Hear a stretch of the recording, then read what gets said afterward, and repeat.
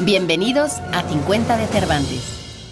Soy Luis Almeida y soy el primer diseñador que tuvo el festival en 1972. La idea es que un emblema significa aquello que contiene. Yo me dije, ¿cómo puedo llegar a la mayor síntesis? Dije, bueno, pues la tipografía será Festival Internacional Cervantino, pero el emblema, que es la figura, puede ser en la gorguera. Cuando yo hice esto tenía nada más el compás y las escuadros y todo era hacerlo a mano y desde la cabeza darle las instrucciones para que se viera volumen, para poder sintetizar. O sea, no, había computadora que pudiera ayudarnos a hacer las cosas. Ese es el trabajo del diseñador, cuando quieres que algo pueda trascender. Te tienes que adelantar para que la gente diga, ¿y esto qué es? Entonces era también un, un reto que estoy muy orgulloso que 50 años después no lo hayan podido superar. Que, ¿Cómo quisiera tener esos 25 años otra vez?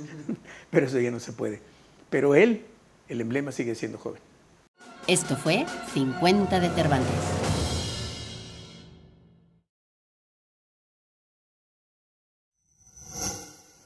Gobierno de México.